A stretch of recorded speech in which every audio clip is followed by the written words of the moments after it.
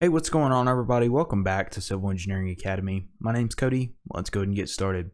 So today we have a uh, sort of open channel problem and here's what the question says. Uh, find the Froude number of the channel shown below if the channel is at maximum capacity and the flow is 100 cubic foot per second. The drawing is not to scale and then we see our four options there available to us in decimal points. Uh, so let's go ahead and get this guy fired up. If you're looking for some reading material, uh, in the PE manual, you're going to be in version 1.1 for this one, 1.1. And uh, we're going to be in section 6.4.3.1. And that is also known as page 343. That's where we can find this formula that we need. Uh, and in the FE manual, we're going to be in version 10.2 uh, in the civil engineering section, page uh, 295.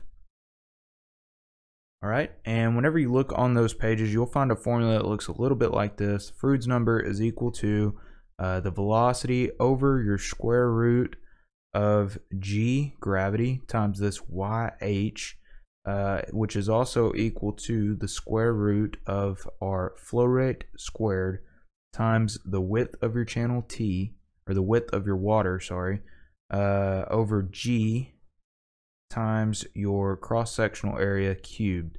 And so we have two different equations that we can work with. It actually gives us in the problem 100 cubic foot per second.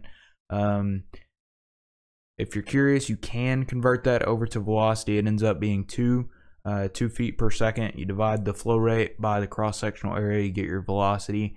That's an extra step. We're in the business to knock out these questions as quickly and as efficiently as possible. Gives us flow rate. Let's use the flow rate uh, part of this equation. So let's plug and chug here. Froude's number is equal to the square root of, and hey, while I've got you here, if you've already enrolled in one of the review courses at civilengineeringacademy.com, keep it up. You can do this. If you haven't, I encourage you to go to civilengineeringacademy.com to check out some awesome practice exams, and resources to help you pass your FE and PE exams the first time. And so with that said, this flow rate is going to be 100 cubic foot per second. Always write out your units so that way you don't uh, screw up your screw up your units there. Uh, T is the width of our water surface. Well, we're going to go ahead and assume that the water is actually going to work with gravity, and so it's going to look something like this. Uh, it's maximum capacity, so really it's going to be at the top but uh, minor detail there.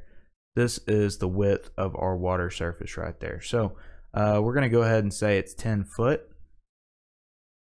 And then we divide that by our gravity. Our gravity is 32.2 feet per second squared. That's a good number to memorize. And then we need to multiply that by our cross-sectional area cubed. So our cross-sectional area is going to be 5 foot times 10 foot, 50 square feet. We need to cube it.